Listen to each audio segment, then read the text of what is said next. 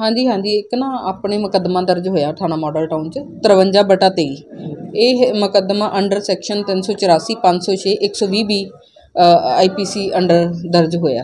ਇਹਦੇ ਵਿੱਚ ਇਹ ਇੱਕ ਮਦਈ ਗੁਰਵੀਰ ਗਰਚਾ ਹੈਗਾ, ਗੁਰਵੀਰ ਸਿੰਘ ਗਰਚਾ। ਉਹਦੇ ਉਹਨੂੰ ਧਮਕੀਆਂ ਦੇ ਰਹੇ ਸੀ ਇਹ ਜਿਹੜੀ ਸੋਸ਼ਲ ਮੀਡੀਆ ਤੇ ਕਾਫੀ ਵੀਡੀਓਜ਼ ਅਪਲੋਡ ਕਰਦੀ ਹੈ ਕੁੜੀ, ਇਹਦਾ ਨਾਮ ਹੈਗਾ ਜਸਨੀਤ ਕੌਰ। ਉਰਫ ਰਾਜਵੀਰ ਕੌਰ। ਇਹ ਇਹਨੂੰ ਮਤਲਬ ਪਹਿਲਾਂ ਤਾਂ ਬਲੈਕਮੇਲਿੰਗ ਦਾ ਇਹਨਾਂ ਨੇ ਆਲਰੇਡੀ ਪਰਚਾ ਦਰਜ